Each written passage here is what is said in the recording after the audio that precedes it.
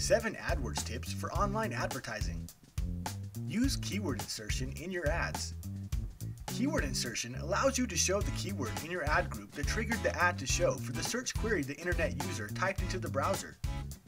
An internet user is much more likely to click on an ad that has the keyword they typed into the browser. Remarket.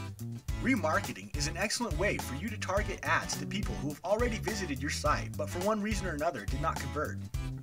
Businesses that have used remarketing have seen a significant increase in conversions as well as an increase in their business at scale. Connect AdWords with Google Analytics.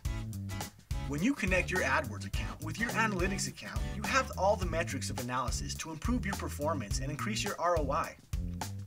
It is important that you have set up goals and conversion funnels to see the proper data in order to make educated changes to your landing pages and ads to increase your conversion rate and minimize your cost per acquisition.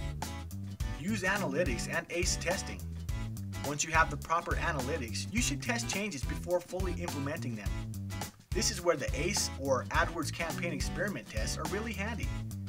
You can test your ad and landing page adjustments against your original ads in increments between 10% and 50% of the time your ads show.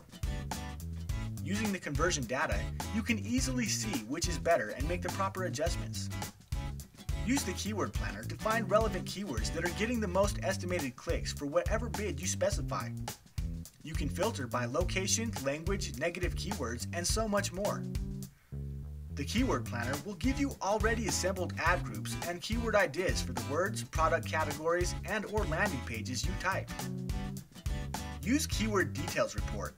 The Keyword Details Report allows you to see what search queries triggered your ad to show.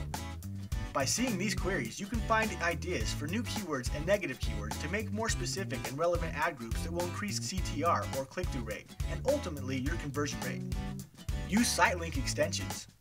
The Site Link extension is a great tool to increase your page presence and visibility.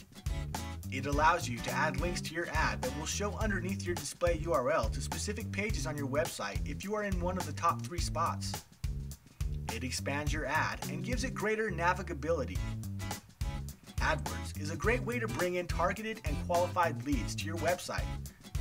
By knowing the tools, techniques, and tricks, your business has a better chance in the online auction. Visit www.marketmedia.biz or click on the link below to see how Market Media can help you with your AdWords campaign.